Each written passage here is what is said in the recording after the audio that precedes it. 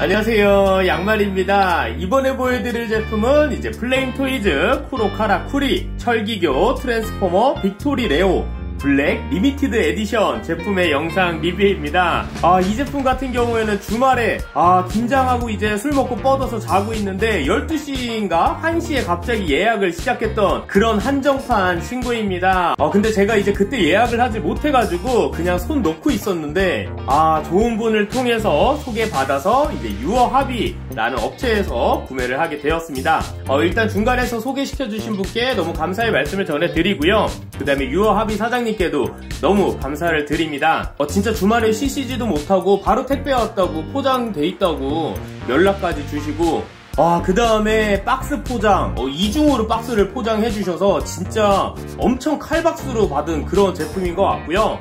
이런 한정판 진짜 한 번 지나면 구하기 힘든데 어, 이렇게 선뜻 구해주셔서 정말 너무 감사의 말씀을 드립니다. 어, 저 같은 경우는 이제 한정판 스타 세이버가 있어요. 그렇기 때문에 이 제품을 안 살 수가 없었고 어, 지금 보셔서 아시겠지만 검은색, 보라색입니다. 진짜 치트키 색감을 다 넣어준 그런 Black Limited Edition 제품 같고요. 어, 제가 이전에 일반판 빅토리 레오 제품은 상세하게 리뷰를 했기 때문에 이번에는 조금 간략하게 리뷰를 진행해 보려고 하고요. 어쨌든 지금부터 플레임 토이즈 쿠로카라쿠리 철기교 빅토리 레오 Black Limited Edition 영상 리뷰를 시작하겠습니다. 어, 일단 이전에 일반판 레오 리뷰를 상세하게 진행했기 때문에 어, 여기 위쪽에 뜨는 카드를 어, 눌러봐 주시면 일반판 레오 영상 리뷰로 넘어가지게 되고요. 아, 일단 이 제품 디테일은 빼놓을 수가 없겠죠. 아, 일단 얼굴 아, LED가 이렇게 빨간 빛으로 불이 들어옵니다. 어, 그 다음에 스위치 껐다 켜는 거는 뭐 다들 잘 아시겠지만, 와. 그 다음에 검은색, 보라색 색감이 진짜 넘사벽이에요. 어, 그 다음에 디셉티콘 마크. 아, 이게 진짜 오토봇 마크랑은 또 다른 매력이 있거든요. 아, 그래서 이렇게 full 무장을 채워둔 상태로 사실 이제 여유가 되시는 분들은 두 개씩 구매를 해 주셔서 레오 따로 빅토리 세이버 따로 아마 진열을 해 주실 텐데 진짜 정말 부럽습니다. 아 저도 두 개씩 사고 싶지만 공간도 없고 돈도 없고. 야 이 뒤에 무장들 다 달린 거 봐요. 진짜 멋있습니다. 어, 그 다음에 이 한정판 같은 경우에는 따로 특전이나 일반판 개념이 없기 때문에 특전에 들어가 있는 cannon은 기본으로 동봉이 되어 있고요 어, cannon 같은 경우에는 일반판 특전 버전 보니까 좀 cannon이 좀 거추장스러워서 이번 제품에서는 따로 어, 달지는 않을 것 같습니다. 아, 이렇게 cannon도 이 black이 됐다고 진짜 느낌이 너무 달라요. 제가 느낌 같아서는 일반판 빅토리 세이버도 꺼내가지고 이렇게 레오로 바꾼 다음에 좀 비교를 해드리고 싶은데 사실 합체가 그렇게 쉬운 것도 아니고 어, 강제 statue가 돼버린 빅토리 세이버를 뜯기가 솔직히 말하면 좀 귀찮았어요. 그래서 어쨌든 이 black에 좀 집중을 해보겠습니다. 아우 이 lion 아 이 사자 머리도 진짜 멋있게 잘 들어가 있고요. 어, 누누이 말씀드리지만 이 색감 디테일들 특히 도색이 진짜 저는 플레임 토이즈 철기교 라인이 고급지게 들어가 있다고 생각하는 사람으로서 야, 피막도 얇지 않은 것 같고요. 아, 그냥 딱 만졌을 때 고급진 느낌이다라는 게 철철 느껴지는 제품인 것 같습니다. 물론 가격값은 해야죠. 비싸니까. 이건 당연한 걸 수도 있어요. 이 가격에. 그래서 전체적으로 펄도색으로 멋있게 잘 들어가 있는 그런 빅토리 레오 제품이고요. 어, 그 다음에 대망의 아 한정판 스타 세이버 이 한정판들을 사실은 사기 전에는 아 내가 흑우지 진짜 내가 이걸 왜 사나 싶거든요. 뭐 다른 분들은 안 그러실 수도 있겠지만 근데 한정판들은 한정판들만의 그 매력이 있어요. 그 마성의 매력. 사실 진짜 필요 없는 건데도 확 그 끌어당기는 듯한 그 멋진 미친 매력들이 있습니다. 특히나 검은색이에요. 어, 검은색, 보라색은 사실 참기 힘든 그런 색깔인 거 다들 아시죠? 어, 쨌든 이번에는 어, 한정판들끼리 합체를 시켜 보겠습니다. 어, 일단 이 빅토리 세이버가 되려면 남는 부품들도 많고요. 어, 그래서 저 한정판 박스를 다시 꺼내서 부품들을 정리도 좀 해줘야 돼요. 어, 보통은 다들 합체해서 빅토리 세이버로 두실 테니까 이런 여분의 부품들은 나중에 또 관리를 해줘야 되는 게 조금 귀찮은 것 같기는 합니다. 그래서 이런 부품들 다 빼주고요. 그래서 이런데 칼도 조금 빼주고